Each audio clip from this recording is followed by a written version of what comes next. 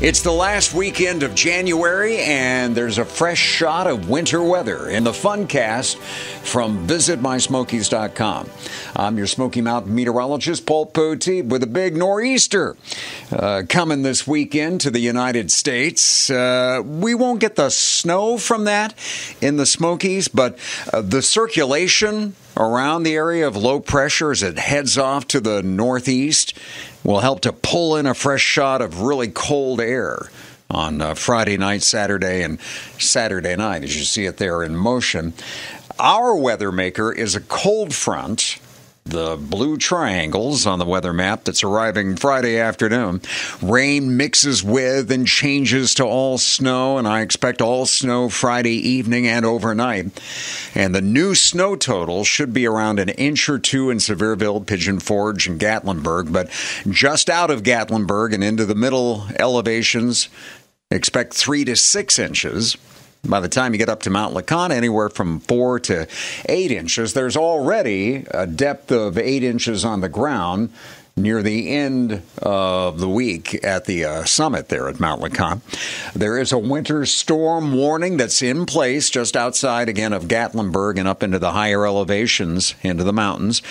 Be careful with travel plans in the Smokies Friday night, and you'll have to check road conditions also on Saturday. So, overall, this weekend, the impacts from winter will be limited to minor around the Smokies. Moderate to major, though, from the nor'easter, from D.C. right up the coast to New York and Boston, just in case you're coming from or returning to those locations.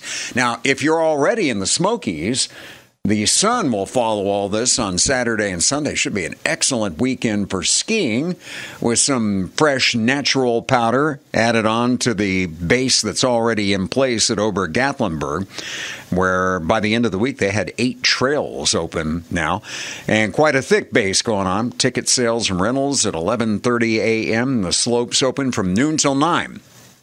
We just posted a picture the other day, included a sunset shot right off into the sunset there at Ober Gatlinburg. Here's a question for you What's your favorite place to eat in the Smokies?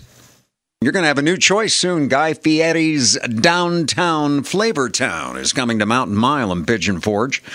It won't just be a restaurant, also a bar arcade and a bowling alley. You can read all about the new entertainment complex in a story that you'll find in the travel tips section of our website, visitmysmokies.com. All right, let's see what's on the weather menu here. We've talked about the fact that we'll have in the afternoon and evening on Friday rain mixing with and changing to snow.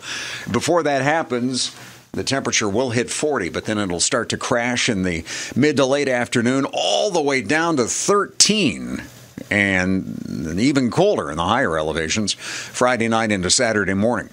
Saturday's high only 29, but jumps to 47 Sunday, 52 on Monday, 57 on uh, Tuesday, as warm as it's been in a while. And we're going to stay mild with rain on Wednesday and Thursday of next week. Careful this weekend. Have a good time. Have a fun time when you visit mysmokies.com.